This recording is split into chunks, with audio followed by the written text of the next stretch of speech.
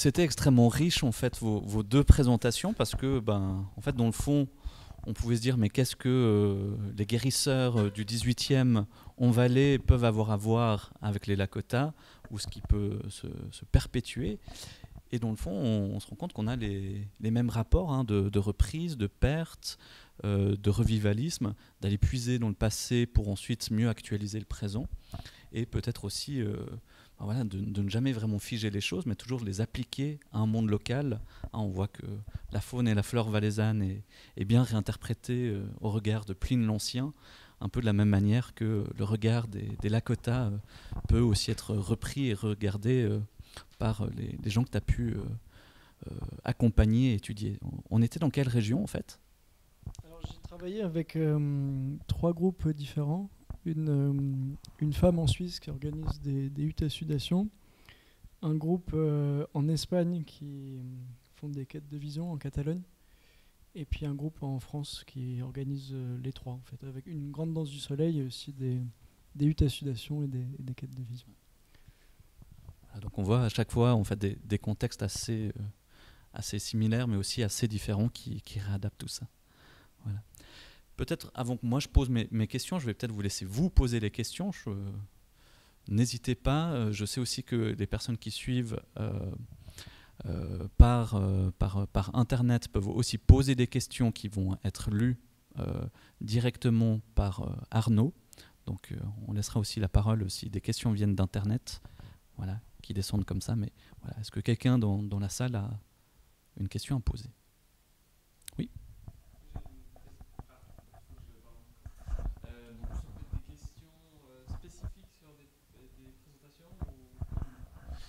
J'ai bon, j'ai euh, un, une remarque, disons, qui j'ai l'impression fait un peu le pont entre vos deux présentations.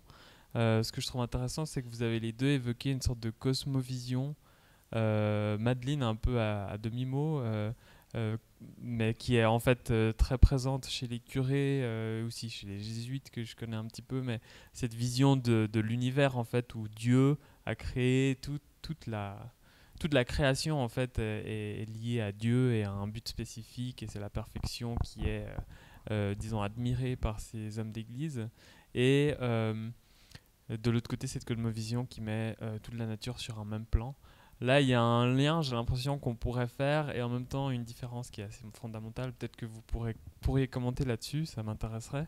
Euh, mais j'ai juste une question très spécifique sur euh, pour euh, la présentation de Madeleine Favre qui est par rapport ça m'a interpellé cette formation en médecine du curier du, du de Clément c'est ça enfin la formation qu'il n'a pas eue, mais la possibilité qu'il avait d'exercer en tant que médecin. Et euh, tu as évoqué le fait que le pape lui a concédé euh, l'autorisation d'exercer en tant que médecin. Euh, Est-ce que c'est quelque chose qui était courant à cette époque-là? Est-ce que le pape avait cette légitimité et il le faisait de façon assez répandue? Ou comment fonctionnait le système médical à ce moment-là? Qui était autorisé en fait à, à, exercer la médecine Est-ce que c'était quelque chose qui était formalisé ou pas euh, Et si c'est le cas, est-ce que ça venait toujours du pape? Oui, euh, merci pour tes questions. Euh, je peux peut-être commencer par ce cas du curé Clément, sur sa formation médicale, etc. En fait, on voit surtout qu'il il, il lit beaucoup et il est en contact avec des médecins officiels qui sont ses amis. Euh, dans, sa bibliothèque, il y a vraiment une grosse part, un, gros pourcentage qui est des, livres de médecine et des, revues aussi qui sortent. Donc il est vraiment euh, au courant. Il est, même en fait euh, plus au courant qu'un médecin diplômé de la ville de Martigny que j'ai étudié aussi, qui lui a pas d'argent et n'arrive pas à se payer les livres pour se tenir au courant. Et du coup, il ramasse des plantes pour le grand botaniste Albrecht von Haller en, lui demandant s'il peut lui envoyer des livres de médecine en, en, contrepartie. Et donc Clément, le curé, lui, est plus au courant de la médecine que ce médecin diplômé de la faculté de, de Montpellier, finalement. Donc c'est tout. Et après, sur le fait de pouvoir ou pas pratiquer, ça c'est compliqué parce que déjà début 18e, on commence à faire des règlements sur le fait qu'on ne peut pas pratiquer si on n'a pas de diplôme, si on n'est pas reconnu ou quoi, mais c'est pas du tout appliqué jusqu'à ce que les Français arrivent euh, un peu en Valais, annexe, et commencent à faire un système un peu plus euh, institutionnalisé où là, il y a des, examens pour euh, savoir si on a le droit ou pas de pratiquer. Mais bon, même si on passe pas l'examen, les, les, guérisseurs continuent jusqu'au XXe siècle, ils s'en fichent. Mais euh, c'est compliqué aussi cette euh, autorisation du pape, parce que j'ai cherché dans toute la littérature secondaire ou dans des archives, et j'en trouve pas. Mais là, il y a vraiment le parchemin écrit en latin de Pie VI qui dit Clément dans euh, la paroisse qu'il autorise à cause de la pénurie de médecins. C'est noté quand même à cause de la pénurie de médecins et le fait qu'il ait des, connaissances. Mais c'est quelque chose de, compliqué à, comprendre. Après, c'est vrai qu'aussi au niveau de la hiérarchie religieuse, euh, les évêques vont demander à leurs euh, subalternes, aux curés, de, faire des choses qui relèvent de, la médecine, comme par exemple, ce qui est surprenant, mais de promouvoir la, la vaccination dans leurs sermons. Euh, de choisir des, sages-femmes dans le village, il faut que ce soit les, curés qui les choisissent parce qu'elles doivent pouvoir baptiser aussi en, cas de problème. Donc il faut que ce soit des bonnes chrétiennes. Enfin, il y a tous des aspects qui s'entremêlent, euh, c'est un peu compliqué. Et après, pour la, vision du monde, euh, c'est vrai que ça c'est aussi euh, quelque chose d'intéressant, ce, ce, curé qui... Enfin, l'aspect plus scientifique plus élevé de juste voir l'univers comme une création de, Dieu. Et après, dans, mes sources, j'ai aussi euh, accès parce que justement, ce curé va relever toutes les, superstitions qu'il note de ses paroissiens, des superstitions qu'il veut combattre en fait en tant que bon euh, catholique. Mais du coup, on a accès à cette information-là. Et là, on, va voir la conception euh, de la maladie ou du monde qu'ont ces populations alpines et on voit que par exemple, euh, s'ils ont une maladie euh, comme ça d'un coup, ils, vont penser que c'est parce qu'en en, se promenant sur un chemin, sans faire exprès, ils sont tombés sur euh, l'âme de, quelqu'un qui était mort, qui est en train de faire son purgatoire. Ils sont passés à travers et du coup, ça a froissé cette âme qui leur aurait soufflé dessus une maladie. Et du coup, pour soigner ça, ils vont pas juste prendre des plantes médicinales ou quoi, mais ils vont faire un, rituel spécial euh, avec des prières ou des choses comme ça. Donc il y a tout cet aspect-là aussi euh, sur comment on pense la maladie qui, peut ressortir. Tu voulais répondre aussi peut-être? Oui, par rapport à la, la question de la, cosmologie. Je, euh, je trouve intéressant sur mes terrains de voir, comme je l'ai dit, que ils ne deviennent pas euh, animistes du jour au lendemain, ils ne prennent pas toute la cosmologie de la quota. Il y a plutôt une, euh, forme de, de, créativité qui se fait là-dedans, où d'une part, euh, bah, il y a certaines expériences de, dans les rêves ou dans, leur pratique où ils ressentent, je sais pas, le fait qu'un arbre est vivant ou qu'on peut entrer en communication même avec un nuage, je sais pas, mais en même temps, ils croient toujours en la science. Et je vois un pont qui se fait entre les deux, par exemple, euh, certaines personnes qui évoquent des, des, études contemporaines en éthologie, par exemple, ou en botanique, où de plus en plus on voit quand même qu'il y a une ouverture de la science qui ne considère plus depuis un moment déjà les animaux juste comme des objets, encore les arbres, mais on voit de plus en plus euh, les liens qui sont faits entre les différents êtres vivants. Et puis par rapport à ce que tu viens d'évoquer de que le médecin il peut aussi être euh, exorciste. Ça, j'ai trouvé intéressant. Enfin, je sais pas, tu parlais pas d'exorcisme, mais de qu'il peut y avoir d'autres euh, rituels pour, par exemple, euh, si c'est pas une maladie naturelle, mais qui est due à, une âme défunte. J'ai le souvenir d'un officiant dans une hutte qui dit euh, ben, vous venez dans la hutte pour prier, etc. Mais si vous avez mal aux dents, allez chez le dentiste. Venez pas euh, prier, prier pour ça. Et donc il y a aussi cette, euh, cette relation entre la science et la spiritualité qui des fois sont séparées, d'autres fois sont vraiment euh, mis ensemble et c'est toujours euh, très, très dynamique. Merci beaucoup. Alors on a deux questions là devant. C'est toujours d'actualité? Oui. C'était par rapport justement à l'exorcisme. Est-ce que vous avez repéré des pratiques d'exorcisme euh, réguliers, enfin, qui se pratiquent euh, habituellement. Euh, pour ce qui est de l'exorcisme officiel fait, fait par les curés, il y, des, petites mentions ou quoi, mais c'est surtout ce que je remarque dans les sources, c'est les, euh, les, curés qui vont se battre contre euh, les figures un peu de, sorciers, de, guérisseurs sorciers, où on va essayer vraiment de, guérir des, des maladies en fait qu'on qu'on comprend pas et que du coup on, assimile tout de suite à quelque chose de, de supernaturel au lieu d'avoir une cause naturelle et que du coup les, les traitements vont être étranges. Par exemple, le, curé Clément dit, même si, euh, si- il parle d'un cas où il y a des enfants qui, qui, mangent de la terre et du coup pour les soigner il faut, le- faut leur donner de la, de la terre euh, issue d'un endroit où il y a des ossements ou quoi. Puis il dit mais non mais euh, c'est débile et lui il vient avec sa science il dit ah mais si s'ils mangent de la terre c'est parce qu'ils ont un problème dans les, humeurs et il faut juste leur donner ça et il donne un, un- exemple de, traitement naturel.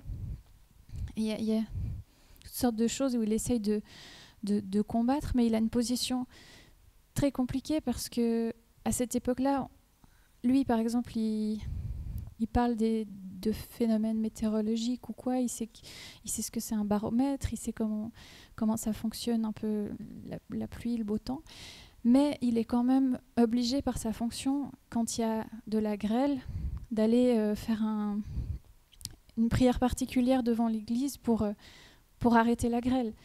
Et il essaye de d'expliquer aussi la formation des fois de pourquoi quelqu'un pourrait voir un esprit parce que c'est la condensation de l'air ou comme ça mais après dans le texte il explique quand même comment il faudrait faire pour euh, exorciser ou des choses comme ça donc la position des curés qui sont éclairés et qui, qui, lisent beaucoup, qui sont dans, dans la science, elle est, très complexe à cette époque-là parce qu'ils sont vraiment entre deux, entre deux mondes.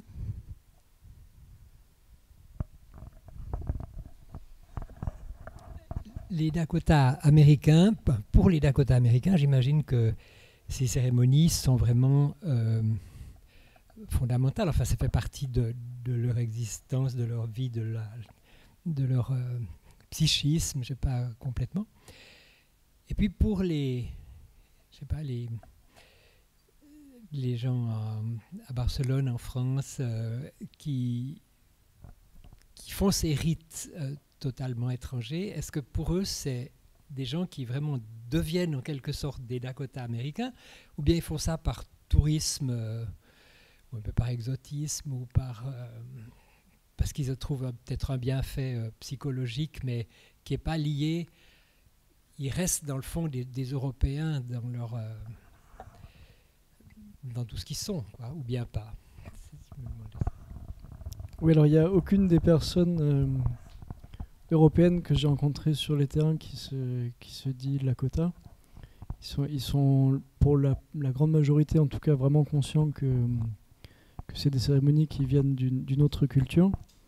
D'ailleurs, une des choses qui m'a surpris, c'est qu'il y en a. Je, je- une des premières questions que je pose dans mes entretiens, c'est de. Je leur demande comment ils sont arrivés là, et donc de raconter un peu le, le parcours de vie. Et une des choses qui m'a surpris, c'est qu'il y en a très peu qui, qui s'intéressaient aux Indiens ou qui sont venus là parce qu'ils avaient envie d'apprendre euh, quelque chose sur les cultures euh, amérindiennes. Et euh, ce qui est mis en avant dans ces cérémonies, une, des deuxièmes choses qui m'a surpris, c'est que hum, je m'attendais à, surtout en tant qu'anthropologue des religions, à mettre en avant la dimension que les gens venaient parce qu'ils avaient le désir de, je sais pas, d'entrer en communication avec les esprits, de voir leur animal totem ou tout un tas de choses qu'on entend sur, sur les, la spiritualité amérindienne. En fait, de ce que je vois sur mes terrains, c'est plutôt des gens euh, très terre à terre qui, qui apprécient. Je pense la première chose, c'est le, le contact avec la nature, parce que par exemple, euh, ça se passe toujours sur des lieux qui sont euh, assez isolés. Souvent, il n'y a, y a pas d'eau, euh, pas d'eau courante, pas d'électricité. Passer quatre jours seul pour faire une quête de vision, etc. C'est ce... Donc beaucoup de gens qui, qui ont ce sentiment de, de liberté, de sortir un peu de la ville, de leur quotidien. Et en même temps, euh, il y a un peu quelque chose de, de communautaire qui se crée. c'est pas une institution, il faut pas de. Il n'y a pas de, rites qui font que ça soit une communauté, mais le, le fait simplement de. Pour beaucoup de se retrouver chaque année dans ce contexte, ils disent ah ben je suis content de retrouver ma famille etc parce que c'est aussi des expériences qui sont vraiment fortes émotionnellement qui sont qui sont partagées avec ces gens et à ce niveau-là je trouve intéressant de euh, faire un comparatif avec les communautés Lakota surtout autour de la danse du soleil parce que dans, l'organisation sociale Lakota ils suivaient vraiment le, bison. Et les bisons en été, ils se retrouvent, euh, c'est des très grands troupeaux qui sont dispersés en hiver parce que les ressources sont, euh, moins présentes. Et c'est exactement pareil, les, communautés Lakota, en hiver, ils vivaient dans des, des petits villages de, je sais pas, quelques deux, trois familles, alors que l'été, c'était vraiment des très grands rassemblements pour les grandes chasses de bisons et autour de la danse du soleil. Et en fait, de ce que j'observe, c'est un peu pareil. euh, avec les gens en Europe, c'est des gens qui vivent euh, dans différentes régions et puis qui se retrouvent euh, l'été tous ensemble pour la, pour la danse du soleil. Donc il y a- cette dimension sociale qui est importante, mais c'est avant tout, le, je pense, le, le contact avec la nature qui est mis en avant et aussi la, la distance qui pendant un temps est prise avec notre société consumériste, le travail, tout ça.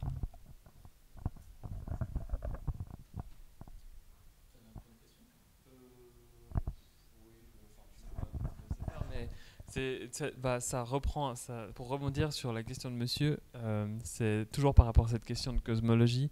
Euh, justement, j'ai l'impression que dans le monde chrétien, il y a une vision de la nature où, qui place l'homme au centre hein, euh, et qui domine sur la nature. Est-ce que dans cette cosmologie amérindienne, si on veut, ou plutôt celle qui est contemporaine et qui est reprise par les Européens, quelle est la place de l'homme dans la nature? En gros. Est-ce que c'est une forme d'égalité ou à l'inverse, il y a toujours cette hi- hiérarchie, euh, cet héritage euh, hiérarchique chrétien qu'on peut observer ou, pas? Je pense qu'il y a vraiment une, prise de distance avec euh, cet héritage chrétien. Il y a cette idée que, hum, que l'homme est, en relation, vraiment cette, la question de la relation qui est mise au centre. Et qui, s'inscrit dans un, dans un cercle avec, euh, avec tous les autres euh, êtres vivants et même la, catégorie de, de vivants ou d'êtres avec qui on peut être en relation, elle est euh, étendue aux arbres, aux montagnes, aux rivières et puis même à d'autres êtres non humains qu'on pourrait qualifier de, de surnaturels. Voilà. Moi, j'avais juste une petite question pour vous, ou peut-être une très grande question à voir, mais ce qui, m'a beaucoup intéressé dans les deux cas, c'est qu'en fait, on a des, traditions qui sont écrites, qui sont codifiées, qui sont un peu posées là, mais qui, dans les deux cas, sont persécutées, ou en tout cas sont, sont contrôlées. hein. Il y a, quand même le rapport d'une autorité qui vient, qui les enlève, qui les discrimine, qui, euh, entre guillemets, les, les dévalue euh, de leur valeur. Et ensuite, il y a généralement des mouvements de redécouverte, hein, notamment quand on pense aux, traditions de guérisseurs qui aujourd'hui ont, on le vent en poupe, euh, en tout cas de- depuis les années 2000, mais on peut bien imaginer que ces traditions ont perduré à travers tout le 19e, tout le 20e siècle. Et on sait aussi hein, que beaucoup d'autres traditions un peu de, revivalisme se sont créées à partir des, sources des pourchasseurs. Hein, En Angleterre, on a tous les mouvements de néo-sorcellerie qui sont basés sur les textes de démonologie euh, euh, du 15e et du 16e, où tout d'un coup, on va reprendre les sources de celui qui discrédite pour recréer la tradition qu'on actualise aujourd'hui. Et je me demandais jusqu'à quel point, alors peut-être Clément a un rôle dans la manière dont il codifie aujourd'hui les, les traditions de guérisseurs. hein. C'est peut-être euh, un, un sujet qui dépasse ton, ton travail de thèse, Madeleine, mais c'est de voir en tout cas quelle est la postérité de, de- ce Clément dans cette manière de repenser les traditions des guérisseurs et peut-être de les remettre aussi dans des sillons un peu chrétiens et qui d'une certaine manière pourraient aussi s'appliquer au, au Lakota dans cette manière de, de repenser eux-mêmes leurs propres rituels et significations aussi à l'aune des, des persécutions. Euh, oui, vaste question. Euh, Clément, oui, euh, c'est vrai que je m'étais concentrée sur le rapport un peu aussi aux, plantes, mais c'est vrai que Clément, bah, il y a toute cette, phase où il va vraiment lister toutes les pratiques euh, euh, qu'il ne faut pas faire. Et là, j'étais contente parce que j'ai pu voir la, mention de la pratique euh, du secret, qui est, bien connue, parce que pour les guérisseurs aussi, là, j'ai parlé plutôt des, pratiques naturelles, mais il y a tout ce qui est super naturel, du coup, avec cette pratique du secret qui est encore aussi aujourd'hui très connue. Il y a même aujourd'hui l'application sur le téléphone pour trouver quel numéro appeler si on a une verrue ou mal de dos, etc. Et du coup, j'étais contente de trouver une trace vraiment de, ça au, XVIIIe siècle parce qu'il dit vraiment euh, quelle superstition infâme, euh, quelle abomination, ces gens qui pensent qu'ils peuvent euh, guérir à distance juste en sachant le nom de la personne, arrêter une hémorragie. Et vraiment, il l'écrit. Et j'étais trop heureuse d'avoir cette trace parce que on n'a aucune autre trace de, cette pratique, il n'y a, rien. À part, comme tu l'as dit, sur, ceux qui condamnent. Mais après, euh, Clément, c'est pas un pas un condamnateur assez connu pour avoir créé ensuite, enfin pour qu'on se réfère à lui pour faire des pour, pratiquer à partir de, ces écrits là. Mais euh, tout ce qui est source judiciaire, c'est plus le cas, mais, lui, il reste un peu un, exemple isolé. Mais c'est vrai que c'est intéressant de voir ces pratiques à travers ses yeux. Et vu que moi, pour certaines de ces pratiques, c'est ma seule source, il faut quand même que je reste très très prudente, vu que c'est celui qui condamne qui les, écrit. Euh, pour les, les Lakota, les autochtones, de manière un peu plus générale, il n'y a pas de de tradition écrite. Les, écrits qu'on a, les premiers, c'est des, écrits de, missionnaires, d'explorateurs, etc., qui, ou les premiers anthropologues qui racontent un peu ce qu'ils voient avec tout, un, tout le bagage de, préjugés, de jugements qu'il peut y avoir là-dessus. Les, un des premiers écrits qu'on a, c'est euh, euh, Black Elk, dont je vous parlais, qui dans les années 30 Donc c'était vraiment un homme médecine reconnu par sa communauté, qui est d'autant plus qu'il a assisté aux grands événements comme Little Big Horn, Wounded etc. Donc il s'inscrit vraiment fortement dans l'histoire de la culture Lakota. Et dans les années 30, il y a un, un anthropologue qui est venu le voir euh, et, qui a fait une série d'entretiens avec lui, à la suite duquel euh, est sorti un ouvrage qui s'appelle Black Elk Speaks. Et puis un deuxième anthropologue qui est venu le voir. Et dans ces ouvrages, Black Elk raconte, euh, raconte ses traditions et parle aussi des, cérémonies. Et plus tard, c'est devenu une sorte de, canon. Dans le, le, revivalisme, il y a beaucoup qui se sont appuyés sur les écrits de Black Elk pour, pour refaire, repratiquer ces cérémonies. Et parfois, ça donne l'impression euh, qu'on n'a pas ce recul euh, historique que la manière que Blackwell raconte, ça serait la manière la plus authentique, la vraie manière de faire. D'après moi, c'est quelque chose à, nuancer parce que dans l'histoire de ces peuples, il y a toujours eu euh, une diversité de pratiques, une, variation, tout un tas de variations dans la manière de, de pratiquer. Et j'ai trouvé un très bon exemple un autre article d'un anthropologue qui a été écrit dans les années 50, mais qui euh, date d'interviews qu'il a menées dans les années 30. Et en fait, c'est sur la danse du soleil, qui était pratiquée aussi par les, les Shoshones et les Crows. Et c'est l'histoire d'un Shoshone qui était danseur du soleil pendant plusieurs années, qui, je ne sais plus pour quelle raison, a, quitté sa communauté, qui a été accueilli chez les Crows et qui a amené la danse du soleil là-bas, qui a commencé à mener des danses du soleil chez les Crows qui ne connaissaient pas cette euh, cérémonie avant.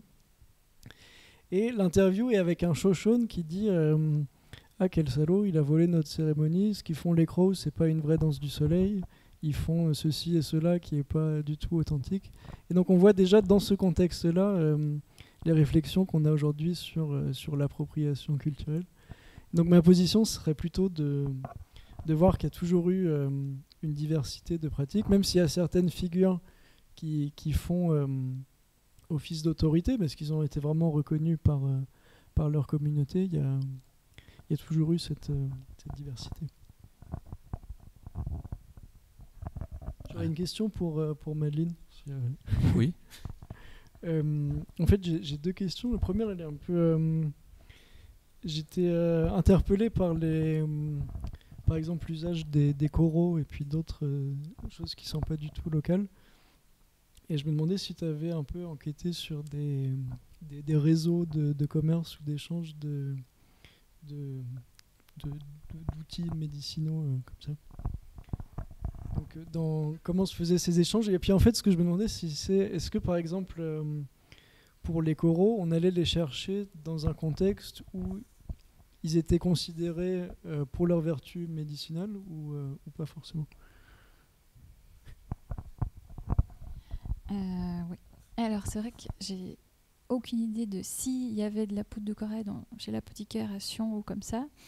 Après, ce que je trouve intéressant dans ces, prescriptions, c'est que ça montre à quel point c'est pas du tout local. Et d'ailleurs, le, guérisseur, quand il recopie ses ouvrages an- antiques, euh, il adapte même pas du tout à, sa situation euh, parce que il prend la peine de recopier euh, la recette de ce qu'il faut faire en cas de, morsure de crocodile ou de, lézard stélion, qui sont, qui sont des, animaux qui sont pas du tout en, Europe en fait, parce que ça n'a pas été écrit en, Europe à la, base.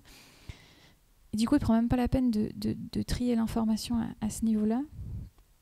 Et donc après, quand, il prend la, liste des, ingrédients finalement, ça, paraît étrange. Et, la, guérisseuse, après, quand elle, elle, euh, prescrit une fois de la, cendre d'hirondelle, la, personne à qui elle a prescrit ça va lui réécrire en disant mais c'est quoi de la cendre d'hirondelle Qu'est-ce que comment comment ça se passe?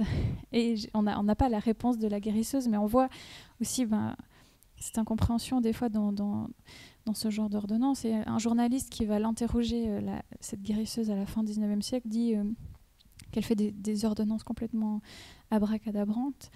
Euh, mais c'est vrai que si on regarde vraiment d'où elle tire son savoir, ben c'est- c'est c'est livre antique, mais c'est vrai que ça paraît ab- abracadabrant et pas du tout adapté à la situation locale, mais ça vient de quelque part. C'est ça qui est intéressant.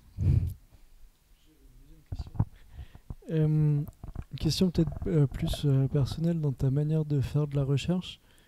J'ai l'impression que ben, tu es historienne, mais euh, de par ton sujet, tu dois forcément petit à petit aussi acquérir des, connaissances en, médecine et en botanique.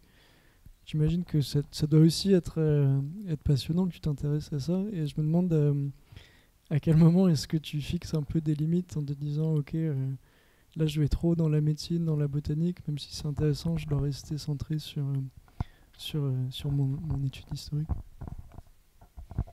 Euh, oui, Bah, c'est vrai que personnellement, moi, ça, me- fascine ce, monde de plantes, des guérisseurs.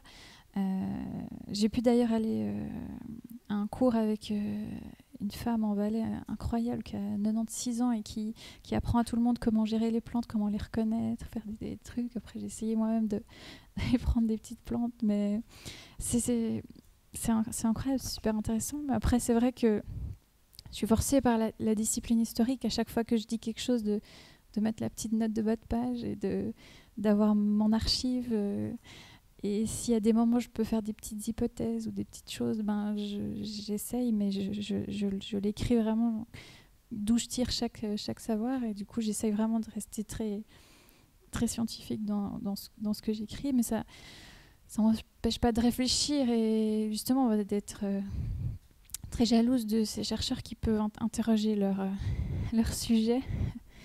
Et moi, je peux juste euh, m'imaginer faire des hypothèses que j'essaie de, de justifier à peu près euh, de manière scientifique. Mais ouais, c'est vrai que c'est compliqué. Merci. Voilà. Je pense qu'on arrive gentiment au terme de, de cette partie-là, vu que la deuxième partie, c'est évidemment l'apéro qui nous attend euh, de l'autre côté, où on va être sur d'autres formes de savoir de la nature, notamment avec un vin euh, d'un vigneron euh, du Lutry, euh, de Lutry, qui voilà, travaille aussi avec les herbes médicinales et d'autres traditions revitalisées d'une certaine manière. Donc on pourra déguster ça par la suite.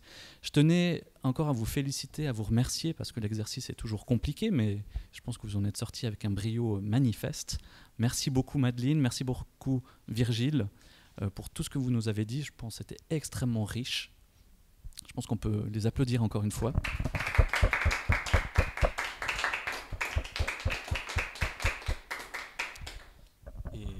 Ben voilà, merci encore à l'espace Dickens hein, pour les lieux, pour le partenariat, c'est toujours un plaisir. Donc voilà, merci beaucoup.